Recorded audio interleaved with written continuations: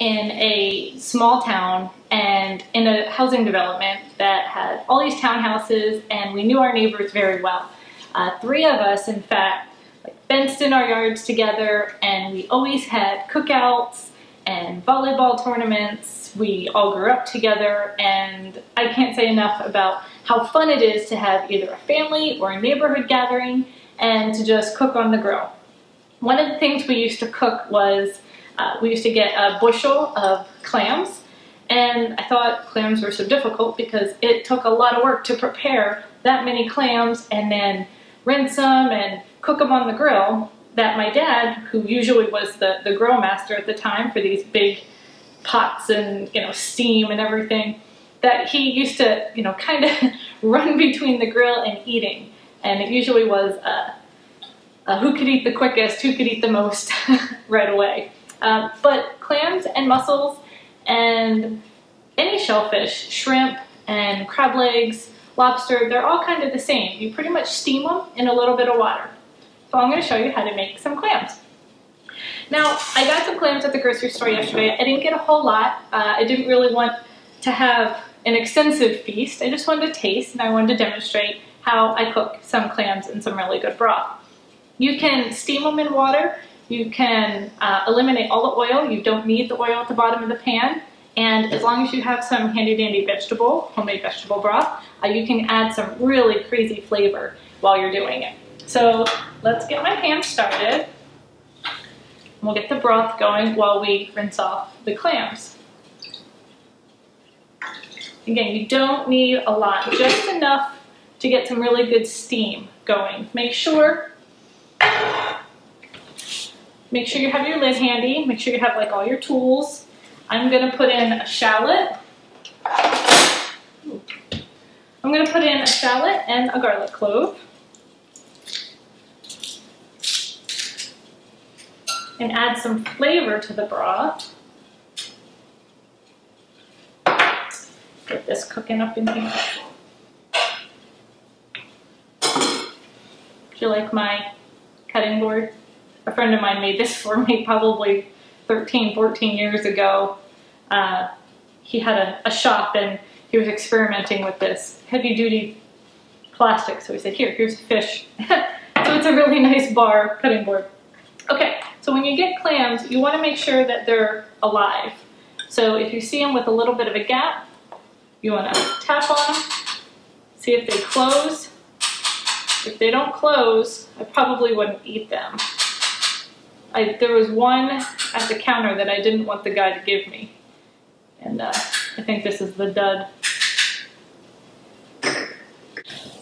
So when you have just a few clams, one's kind of upsetting to lose. All of these look very sealed.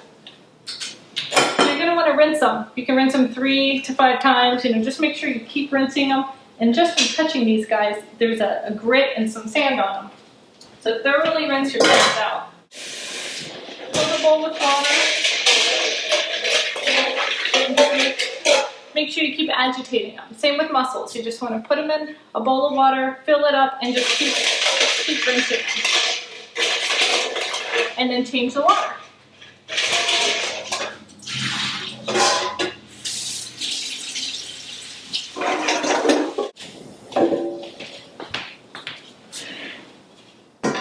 Alright, this is getting pretty warm. Now when you make clams uh, or mussels or shrimp or crab legs even, you can make uh, either warm up some butter you can clarify it and take the fat off the top if you want. I happen to, if I'm gonna have butter, I want it to taste like butter. Clarified butter to me doesn't taste like it, but by all means, if you melt your butter, if you let it sit for a little bit, all of the fats are gonna raise to the top, so you can just skim that off, uh, and then you can just have clarified butter. Uh, or you can just eat it like I do, and I just melt off a little bit of butter, and I'll dip my uh, shrimp, crab legs, or clams sometimes. Uh, but when you make them in a good broth like this, you don't necessarily have to because there's so much flavoring and seasoning going on in the cooking. You can put these clams uh, with some pasta, gluten-free pasta, or you can cook it over rice or quinoa or have them as a side dish or an appetizer. I think they're great as an appetizer. Having some clams alone is just a completely different flavor um, then some other things. You can put clams in soups and, and eat them like that. Uh, so many different things. So clams and mussels and shellfish are something that you can definitely make at home. You don't have to be uh, intimidated of at all. They're just steamed. Crab legs are awesome. Just make sure you have the right tools to get into the meat so that you're not breaking all your forks uh, like I used to. I used to, used to just uh, use any utensil that I could find, but a good nutcracker works and make sure you get all the meat out of uh, out of the joints of the crab leg and if you do it right you can get nice big pieces of really really luscious crab meat. All right we got we got a boil going let's saute down make sure all the flavors are going.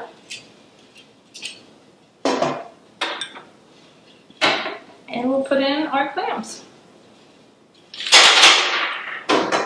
Cover, and you're gonna steam them for about five minutes. Save that garlic, put it in your veggie bag. You need a third hand. Save that for the soup stock.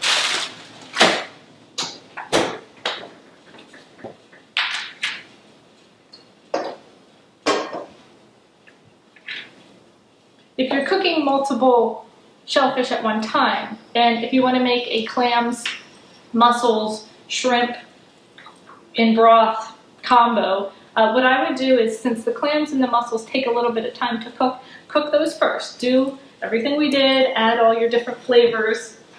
You know what? I'm gonna add a little white wine to this as well. Yeah.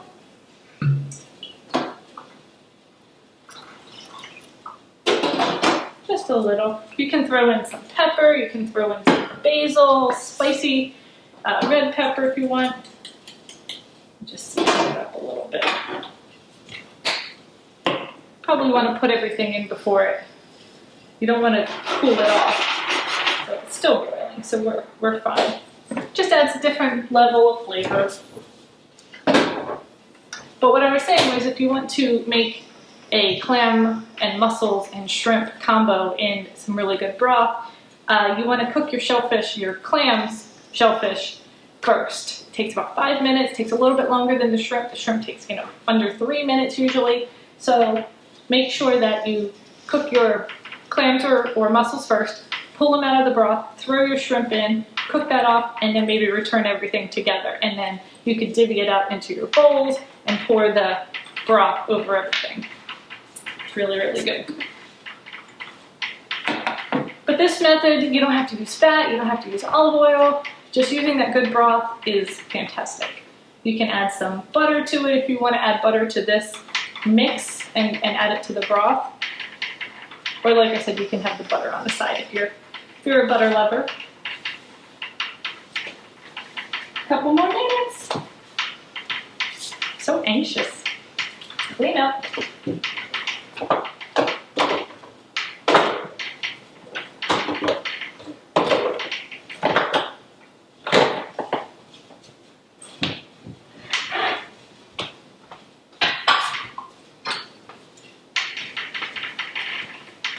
Traditional sauces that go with shrimp and clams and uh, mussels are sometimes a mar not a marinara, a cocktail sauce. You can make uh, some sauces to go with these. You can make a cocktail sauce, which is just some ketchup and horseradish. You just want to add some horseradish, uh, depending on how spicy you want it. And you can just mix it up at home. I want to see if I had any horseradish to show you. No, I don't, I'm all out. But you don't have to buy bottles of it. And then this way it's always fresh because usually in my family, we go through ketchup more regularly than cocktail sauce. Uh, so you don't have to worry so much about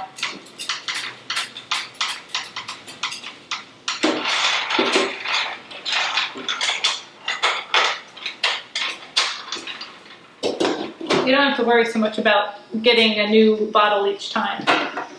Looks like one of my guys, two of them are already popped, so let's keep steaming and cooking them down. I have about another minute or so to go.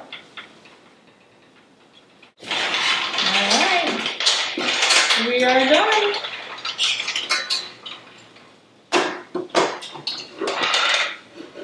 I just want to get everything, all of the meat of the clams in the juices.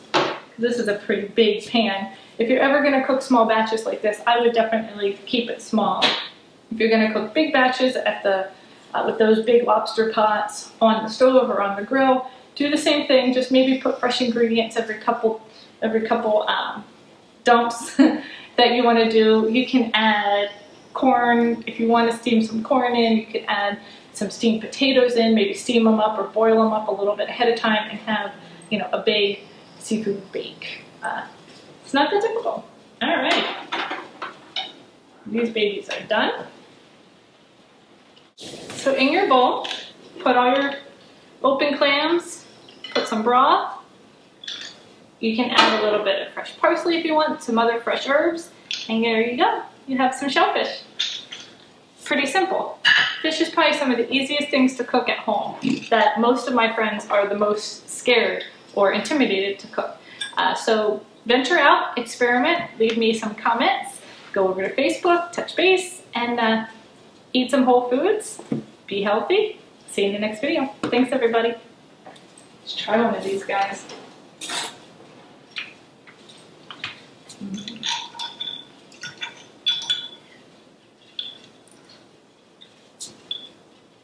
Wow. Mm.